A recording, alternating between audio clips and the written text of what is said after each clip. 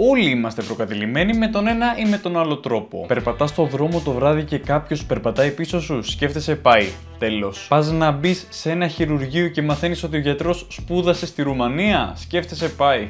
Τέλος. Πήγες να κόψεις ένα κομμάτι μιλόπιτα και δεν την έβρισκες πουθενά, σκέφτεσαι πάει.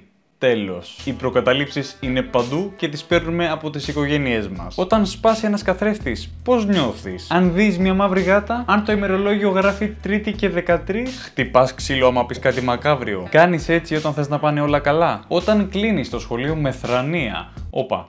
Αυτό είναι καταλήψεις, όχι προκαταλήψεις. Εκτός αν κλείνεις το σχολείο με προ. Τι λέει μάγκες, όλα καλά, καλά είστε; Μπου!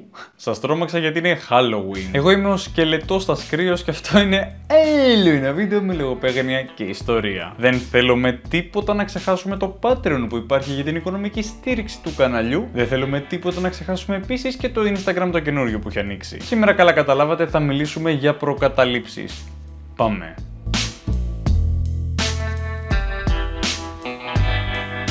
Μην κάτσεις στην άκρη του τραπεζιού. Στην Ουγγαρία και στη Ρωσία, αν μια ανήπαντρη γυναίκα κάτσει στην άκρη του τραπεζιού, τότε μάλλον δεν θα παντρευτεί ποτέ. Συγγνώμη, παιδιά, σήμερα όλη μέρα παντρεύομαι. Υπάρχει όμως μια κοινωνική εξήγηση για την προκατάληψη αυτή. Όταν βρίσκεσαι στην άκρη και όχι στο κέντρο της συζήτησης, γενικά μην κάνετε κουβέντες στα άκρα ποτέ, οι πιθανότητες να κοινωνικοποιηθείς πολύ και να γνωρίσεις τον άνθρωπο της ζωής σου τραπέζι να μειώνονται. Γι' αυτό, παιδιά, μόνο στρογγυλά τραπέζια. Κάτι ξέρανε οι πότε στη στρογγυλή τραπέζι. Γι' αυτό Camelot.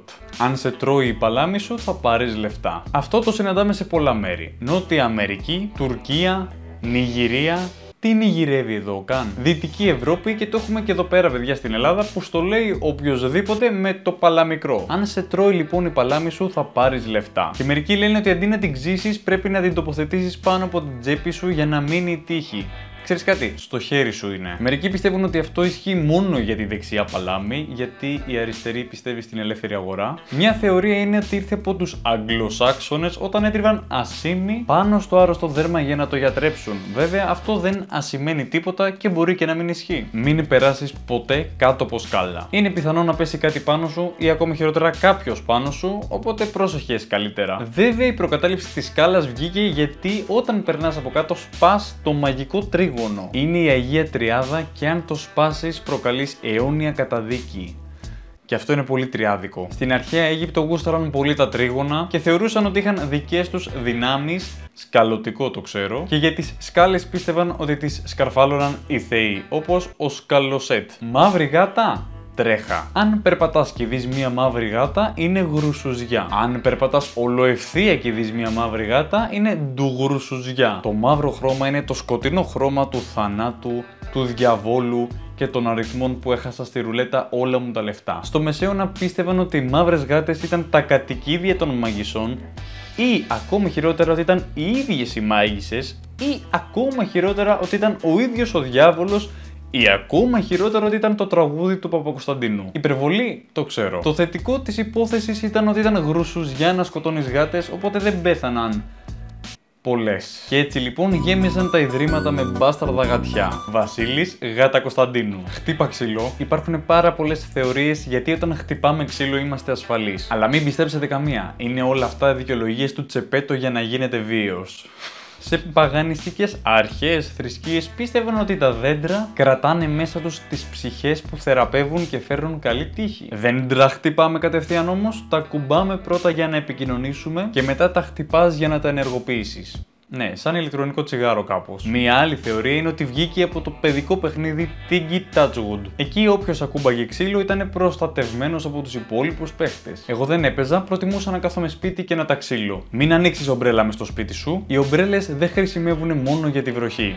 Ομπρέλες; Ναι, γιατί σου καλύπτουν και τον ήλιο. Στην αρχαία Αίγυπτο οι Φαράω έτσι τις χρησιμοποιούσαν και είναι ηλιογικό γιατί δεν έβρεχε κιόλας. Γι' αυτό λοιπόν και αν την άνοιγες σπίτι σου ήταν σαν να προσβάλλεις το Θεό ήλιο που όλοι ομπρελάτρευαν. Μια άλλη θεωρία λέει ότι μέσα στην ομπρέλα υπάρχουν νεράιδες και αν την ανοίξεις μέσα στο σπίτι σου θα απελευθερωθούν και θα σου κάνουν νεραϊδιαστικά πράγματα. Νομίζω ο πραγματικός λόγος είναι για να μην βγάλεις κανένα μάτι στο σπίτι μέσα ή για να μην μας πιτσιλήσεις τα έπιπλα με το νερό σου.